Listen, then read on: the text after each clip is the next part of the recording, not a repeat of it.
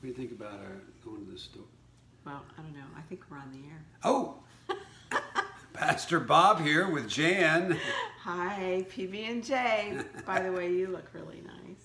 Oh, thank you, my love. You got dressed up for everybody. Yeah, I did. Well, actually, I was recording today for the sermon for um, Sundays. Easter. Yeah, for our active order of worship. Anyway, I did a recording, and I, you know, I was very thankful. I found this old shirt that I've been wore years ago, and that old decades ago. Yes, decades. And I also found an old suit that I used to wear. And matter of fact, I was thinking about this shirt and tie.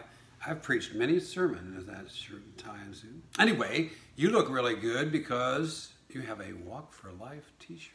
Yeah, it's you know, like almost the virtual Walk for Life, and I am raising money to help um, continue our efforts of saving babies and transforming the lives of women.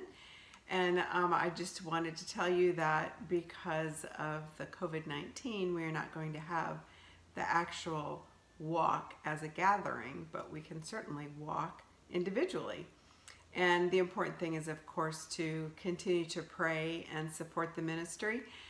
There were over mm-hmm. 2,400 women that we served last year. 2,400? 2,400 with free pregnancy tests, free STI testing, free ultrasounds, well woman exams. All of that is free. And um, we gave away close to 20,000 diapers, and there were over 500 babies saved from abortion last year. Right around 500. Around so. 500 babies saved from and abortion. something that's really cool is I, you know, have been making a lot of phone calls for work, and yesterday I spoke to a lady that um, was abortion minded, and we missed her stat. She actually chose life for her baby, and we hadn't recorded it. So that Whoa. number's one more closer to 500. So anyway, I really appreciate your donations to help us continue serving women in our community. Thank you. And thank you also for the wonderful way that Christ Community Presbyterian Church responds every month for the diapers. Mm-hmm. Yep. Thank you all very much.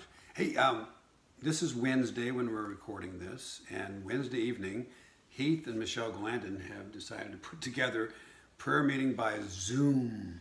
That'll be fun. I'm not It'll exactly be nice sure to see everybody's how that works. face. We'll see everybody. We don't have to know how it works. We don't have to. They're the techies. They They're the techies. So we just we're just.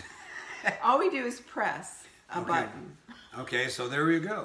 And that's if you don't know how to do it, just call Heath and he'll show you. He'll run you through the the steps. But anyway, basically you look at their email and press on that email and it'll take you to Zoom and then voila.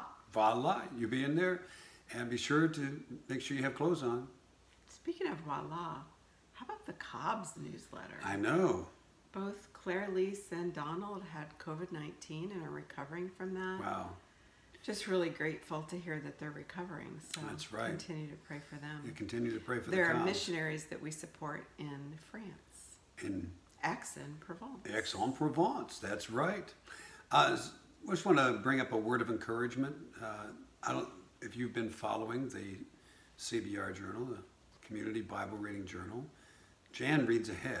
I didn't realize I was so far ahead, but I am ahead. Because I was talking about Josiah today, and Bob's like, did, Where did you are you reading? He yeah. Did you mean Hezekiah? I'm like, no, I read about him a long time ago.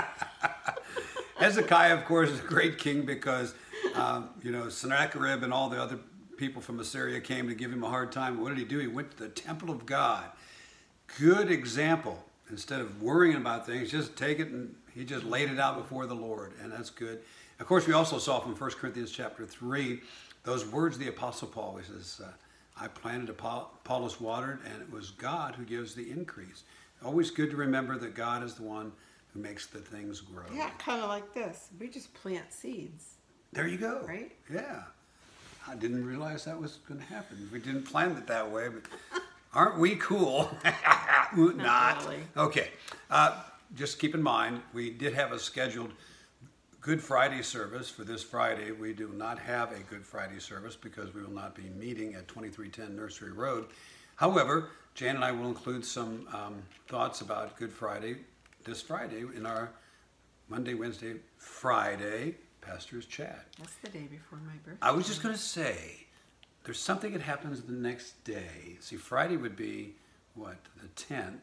That would make Saturday the 11. 11th, Jan's birthday. Well, that's all we have for today. We appreciate you watching the Pastor's Chat number nine and trust that you're staying in touch with others. And if you get Washing your hands and don't touch your face. yes, Wear your mask. there you, but we didn't have mask on for this. Oh, that's all right. Oh, that's all right. We swap spit anyway. Okay. Y'all have a good evening. Uh, check it out, the prayer meeting by Zoom, and uh, we'll see you back here on Friday. Bye.